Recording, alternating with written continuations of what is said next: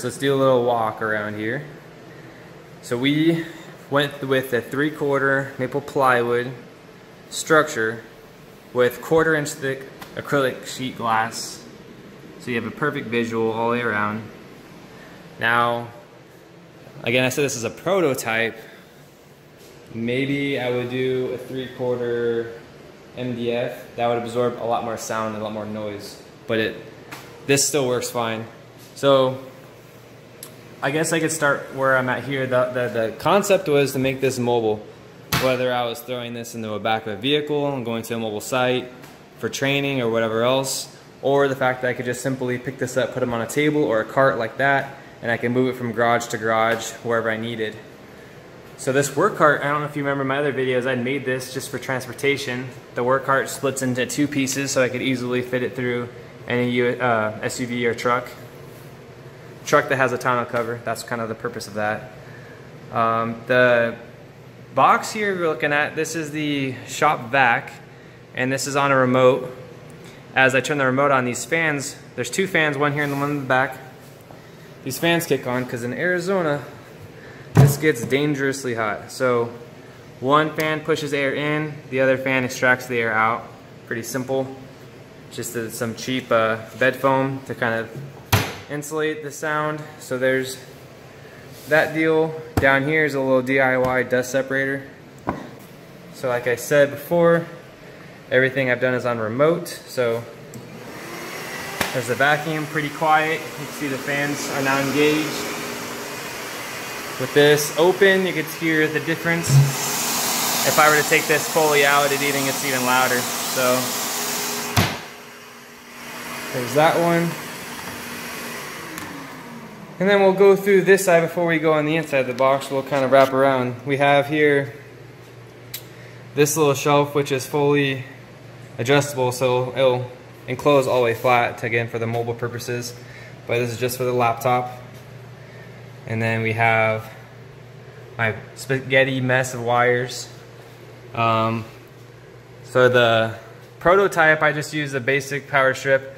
The next box I'm building for my next, my new CNC that's coming in, I'm gonna have a power strip that's 24 inches. It's gonna stem across this entire strip and it's gonna have pre-built USBs in it. So this will look very clean. But again, I have this on a remote and my background is running CNC machines, so I know the importance of a quick e-stop. And the way the programming is set up on here, you have to use your mouse and you can hit a pause button to stop this, and that just annoyed me. So what I done is, by wiring this through a remote, my router and the CNC computer itself, I have full capability and full control. Now there's two awesome things with this. When I'm testing a program, I'm really quick to turn on or turn off. The next phase is the whole point of me getting this machine is I could do more work inside the house without actually physically doing work. So this machine is doing the job for me. So I have here retrofitted a baby camera and it's on a piece of wood with a magnet uh, attached to the piece of wood. So that magnet can hit any of these metal rails and I could put external metal brackets on the in the cabinet for a good view. But the, the camera, let me bust this out. It's fully panned, so I could pan and zoom and tilt all within this control.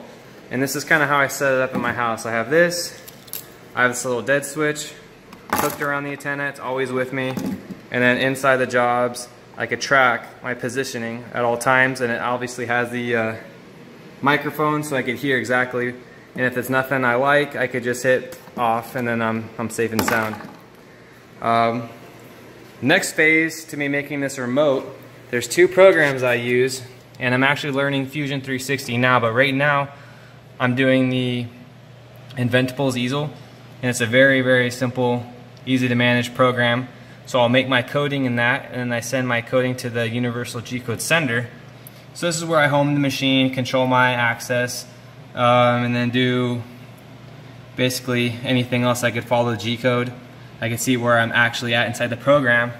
So the next phase, next phase would be, I have the camera with me, and on my tablet I've a synced up TeamViewer, but also not just TeamViewer, I could literally touch the screen and remotely activate my laptop all through here. So I can load new programs. I could basically run this machine without having to be by the machine. So I have this on my tablet and my phone for convenience. And then same thing with my programming. It's all based on Google Drive. So I could essentially make a program anywhere as long as I have internet connection. So now let's get into the box. We have nice weather strip all around to keep the dust inside. Also for noise, make a really nice tight seal. I have integrated flat magnets that suck the door nice and tight. Another little weather strip in the middle. And there's my nice thick acrylic. So inside here I have everything kind of tied together so that there's no chance of the cords wrapping around each other. I have all the wiring integrated and then uh, wrapped nicely through the back track and the side track. And we have two big five inch fans. So those fans are blowing constantly on the PC on the back. And then in here we have the shop vac, which is braced from the ceiling. So that way anywhere in the cabinet, I'm not stressing on my motor. Now this is, again, this is the prototype. There's a better version I want to make because right now I'm limited on clearance. So I could only use, instead of having 15 inches of workspace, I probably killed at least five inches just by having this. So I'll have to readjust it, but for the work I've done, I've been able to stay on this side of the, of the board. So talking about this little guy, there's another video I'm gonna link to, kind of shout out for where I got the idea. Just kind of modified it, made it my own little version. But this router, there's your intake and you have an exhaust.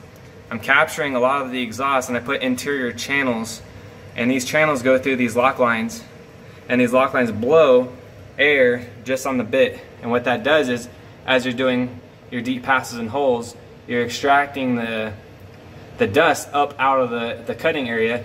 And then my shop vacs, these little big long nozzles, they uh, basically suck all that dust up. So I'm blowing this way and I'm sucking, so keep the cabinet nice and clean.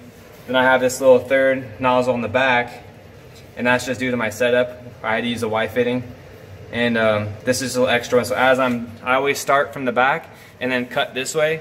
So this guy just hits any residual stuff that was able to get blown past. So it's worked out pretty cool. Um, the lock line stuff I use at work on our CNC, so that's where I got the idea from. I'll link in the description of how, like, how I built this, of all the stuff that I bought on Amazon. Um, everything's readily available, even at Lowe's, and then again, like Amazon or eBay. But we'll kind of keep keep walking around here. So the very back of the machine, see this weird little box. So anytime you're opening a hole, you're allowing all that sound noise to come out. So putting those big fans, I had a lot of sound escape. So what I've just decided to do is put that same foam to sound deaden that area and a little Velcro tab. So this kind of acts like a pre-filter. So I'm breathing in clean air into the machine.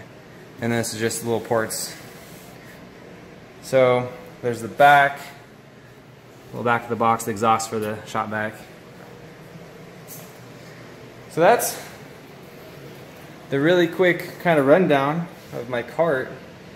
Um, I'll go ahead and turn it on so you can just see how much of the box restricts some of the noise. So actually we'll do we'll do a good we'll do it with it, with it open. So we'll turn her on.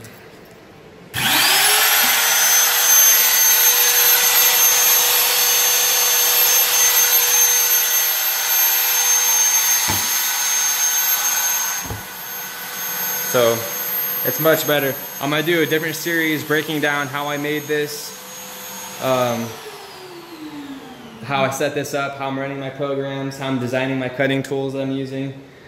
And then I'm gonna go through the whole nine yards. So you guys, please follow that if you're interested in anything I've shown you. Um, from here though, try to make this video as short as possible.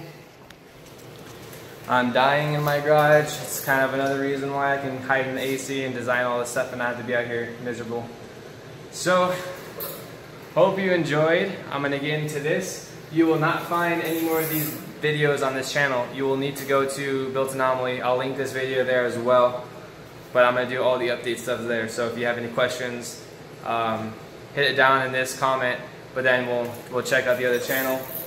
This is gonna be. Uh, a multiple series will break down all the elements and then I, again I bought another CNC so that will come in so I might do a walkthrough how you build it because these CNCs come in a whole bunch of small pieces so you have to assemble it and build it yourself. So I'll go ahead and go through all that.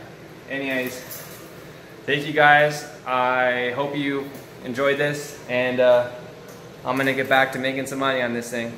Peace out.